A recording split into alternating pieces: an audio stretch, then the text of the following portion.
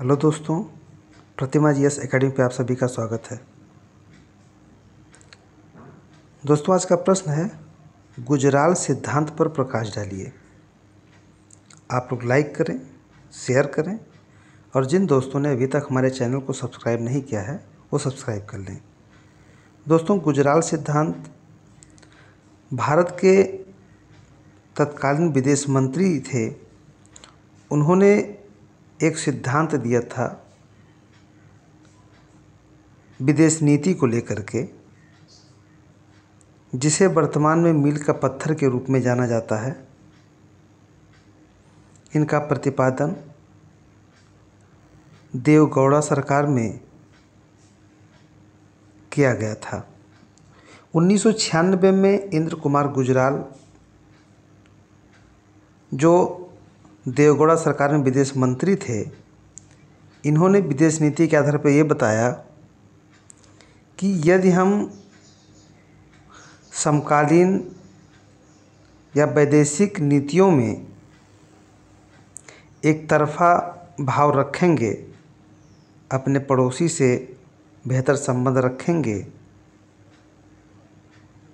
तो हम कई ज़्यादा व्यापार से कहीं जो सैनिक शक्तियों में हम निवेश करते हैं, उसमें हमें ज़्यादा इजाफा होगा। इस डॉक्ट्रिन यानी इस सिद्धांत के मुख्य बिंदु इस प्रकार थे।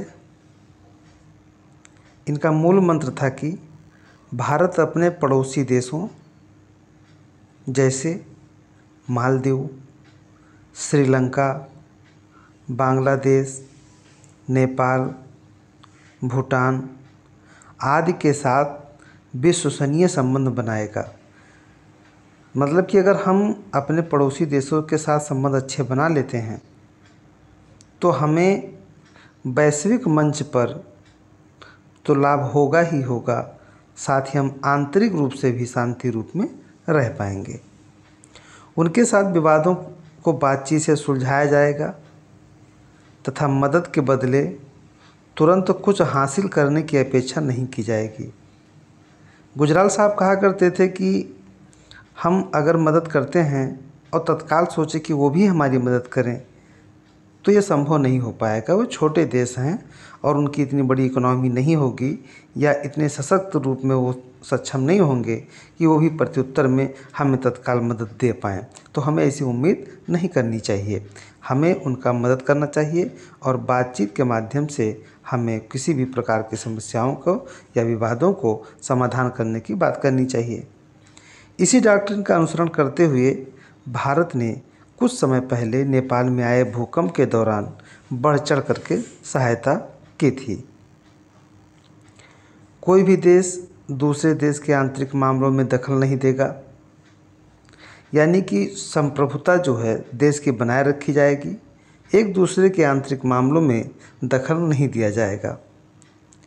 दक्षिण एशिया का कोई भी देश अपनी ज़मीन से किसी दूसरे देश के खिलाफ देश विरोधी गतिविधियाँ नहीं चलाएगा। अक्सर पाकिस्तान में देखा जाता है कि वो भारत के खिलाफ अगर कोई भी मौका पाता है, कुछ षडयंत्र रचने का तो वो नहीं चुकता है। तो यहाँ पे गुजराल साहब ने कहा है कि दक्षिण एशिया का कोई भी देश अपनी ज़मीन से किसी दूसरे देश के खिलाफ देश विरोधी गतिविधियाँ नहीं चलाएगा। सभी दक्षिण एशियाई देश क्षेत्रीय विवादों को शांतिपूर्ण तरीके से निपटाएँगे। इस क्षेत्र के देश एक दूसरे की संप्रभुता और अखंडता का सम्मान करेंगे और किसी संकट से किसी संकट में निपटने में आर्थिक और मानवीय मदद करेंगे। अब गुजराल साहब का जो उस समय का ये सिद्धांत था, वो आज भी प्रासंगिक होता है।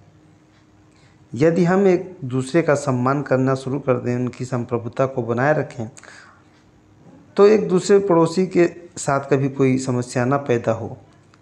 लेकिन ये बात चाइना और पाकिस्तान को समझ में कहाँ आती है? वो तो समझता नहीं है।